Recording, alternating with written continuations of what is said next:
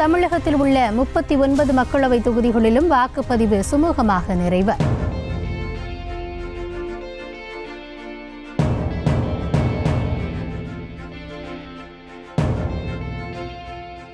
ஒட்டுமொத்தமாக அறுபத்தி ஒன்பது புள்ளி நான்கு ஆறு சதவிகித வாக்குகள் பதிவானதாக தேர்தல் ஆணையம் தகவல்.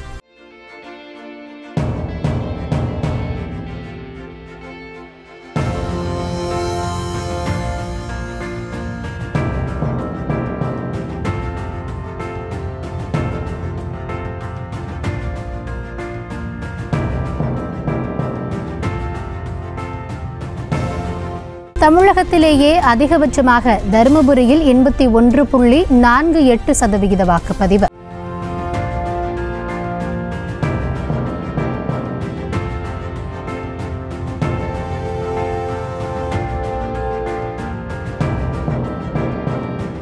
குறைந்த அளவாக மத்திய சென்னையில் ஐம்பத்தி மூன்று புள்ளி ஒன்பது ஒன்று சதவிகித வாக்குகள் மட்டுமே பதிவு. செய்திகளை உடனுக்குடனும் துல்லியமாகவும் தெரிந்து கொள்ள சப்ஸ்கிரைப் பண்ணுங்க.